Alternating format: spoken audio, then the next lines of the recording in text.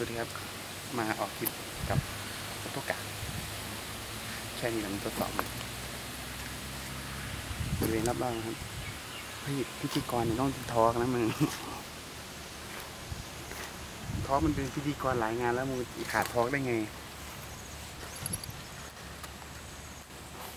เฮียมึงถ่ายอะไรกูถ่ายนู่น